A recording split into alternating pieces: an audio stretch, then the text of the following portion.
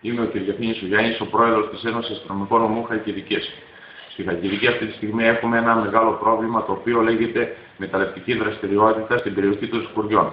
Η αστυνομική διεύθυνση Χαλκιδική έχει αναλάβει τη φύλαξη της συγκεκριμένης εταιρείας με ό,τι αυτό συνεπάγεται. Στην καθημερινή βάση, περίπου 85 με 90 συνάδελφοι του νομού Χαλκιδική λαμβάνουν μέτρα στην περιοχή των Σκουριών ε, με αποτέλεσμα να μην υπάρχει αστυνόμευση σε όλο το νομό. Μέσα στα 85 με 90 άτομα δεν προσμετράμε τα άτομα τα οποία υπηρετούν στην ασφάλεια και ένα μεγάλο μέρος των συναδέλφων αυτών και αυτοί λαμβάνουν μέτρα ε, πάνω στις σκουριές. Όπως πολύ καλά καταλαβαίνετε, με αυτόν τον τρόπο έχουμε έντονο πρόβλημα ε, αστυνόμευσης στο νομό Χαλκιδικής και ε, μεγάλο πρόβλημα ε, με τη δύναμη της Χαλκιδικής ότι δεν αρκεί να αστυνομεύσει το νομό.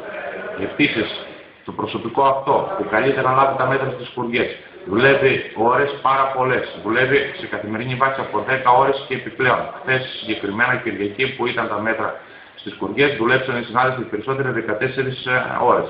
Με ό,τι αυτό συνεπάγεται, κούρασε και το προσωπικό και όταν είναι σε καθημερινή βάση και δουλεύουν πάνω από 10 ώρες, όπως πολύ καλά καταλαβαίνετε, ότι είναι πίσω αδύνατο να μπορέσουν να ανταπεξέλθουν ε, στα καθήκοντα που διατάσσονται ε, για να εκτελέσουν στην περιοχή της Σκουριές. Αυτή τη στιγμή τίθεται το ερώτημα αν η αστυνομία θα είναι στον πολίτη, δίπλα στον πολίτη, στα προβλήματα του πολίτη ή θα είναι στην επένδυση ε, που γίνεται στην περιοχή των Σκουριών.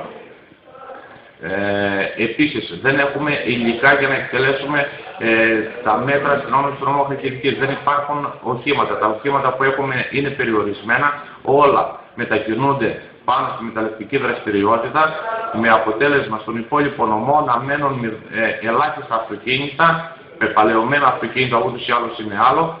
Ε, και έχουμε ορισμένες περιπτώσεις στα οχήματα, οι συνάδελφοι που πηγαίνουν στις κουριές, ότι επειδή τα οχήματα που έχουμε είναι τύπου ε, γιοταχή, ε, δεν μπορούν να εκτελέσουν και τα καθήκοντά τους, γιατί όπως ε, γνωρίζετε οι σκουριές είναι σε βουνό, χρειάζονται τύπου τζιπ οχήματα, πράγμα το οποίο η Καγκυρική έχει ελάχιστα αυτή τη στιγμή, με αποτέλεσμα και οι συνάδελφοι από τη μία να κουράζονται υπερβολικά, από την άλλη να μην υπάρχει αστυνόμηση στη Καγκυρική, να μην υπάρχουν οχήματα, να μην υπάρχουν υλικά και γενικά να υπάρχει μια κατάσταση του νομού Καγκυρικής πάρα πολύ δύσκολη.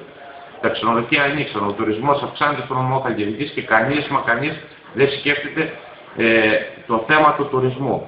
Ο τουρισμός πιστεύω ότι είναι η ανάπτυξη της Ελλάδος και αυτή τη στιγμή στη Χαλκιδική μάλλον κανείς δεν ενδιαφέρεται για το θέμα της ανάπτυξης από την πλευρά του τουρισμού. Ενδιαφέρονται μόνο για την επένδυση και για τίποτα άλλο.